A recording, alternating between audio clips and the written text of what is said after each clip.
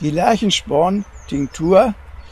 Dabei handelt es sich um einen alkoholischen Auszug vom Lerchensporn, speziell eben von der Speicherknolle, die man jetzt nicht sieht. Das ist die frische Pflanze Lerchensporn. Sie soll sich bewährt haben oder soll sich bewähren bei der schlimmen Erkrankung Parkinson. Wissenschaftlich ist da leider Gottes wenig bewiesen. Ich habe das in Arzneibüchern hin und wieder gelesen, dass, wenn man gar nicht mehr weiter weiß, es ruhig probieren sollte mit der Lerchensporn-Tinktur, mit den Lerchensporn-Tropfen, die man tropfenweise einnimmt über einen längeren Zeitraum.